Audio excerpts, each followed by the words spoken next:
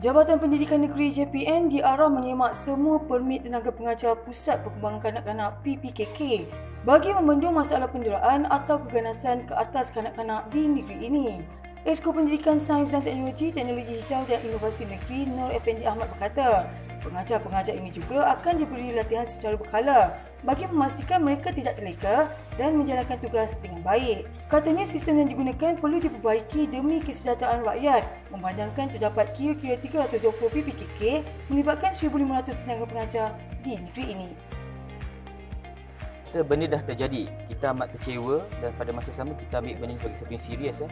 sebab uh, apa keselamatan anak-anak kecil ni wajib diutamakan. Jadi uh, pada masa akan datang kita akan pastikan uh, pendekatan tadi kata sebab CCTV jadi kita kita sendiri eh pihak jabatan sendiri uh, akan menyemak lah ataupun membuat pemantauan uh, secara berkala Beliau berkata demikian selepas ditemui pada persidangan kedua penggal pertama Dewan Undangan Negeri ke-14 di Sri Negeri. Nur Effendi mengulas kenyataan itu ekoran kes dua guru wanita di sebuah pusat jagaan kanak-kanak di negeri ini ditahan selepas dipercayai mengasari dua kanak-kanak di premis itu pada minggu lalu.